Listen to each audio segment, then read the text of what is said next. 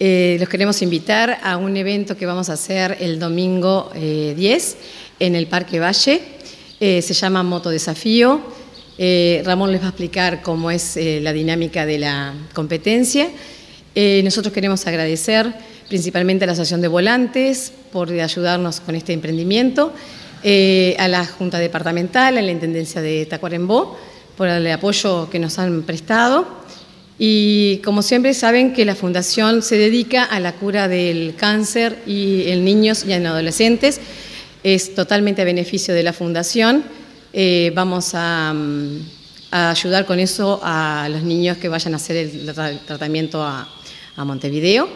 Y, este, y ahora Ramón les explica cómo es la competencia en sí para los que estén interesados en acompañarnos ese día, este, que quieran divertirse con seguridad, porque va a estar ambulancia, bomberos, eh, tránsito, cosa que sea lo más seguro para todos y que sea un día de diversión y alegría, ¿verdad?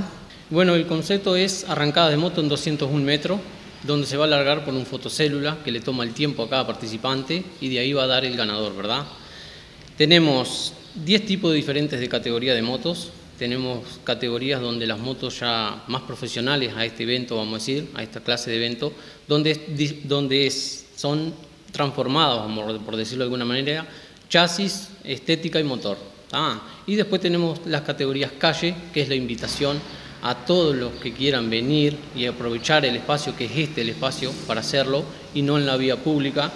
Así que bueno, la invitación es a todos, los esperamos y los esperamos con bonitos premios.